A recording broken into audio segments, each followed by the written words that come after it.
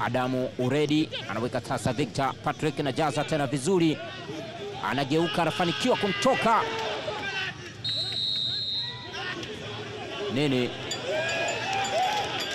ni tuta, ni penalty. Coastal Union wanapata penalty na ulijaza ule mpira vizuri.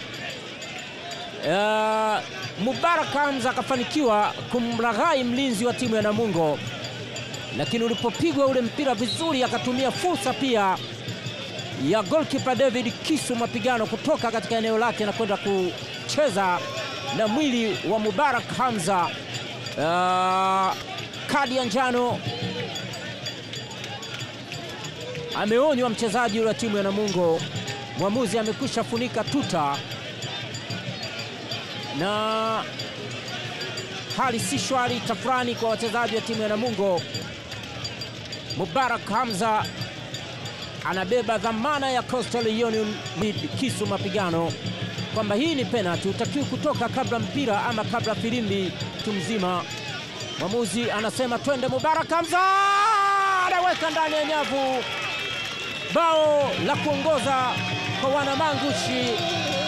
Coastal Union wanaweka mpira ndani ya nyavu.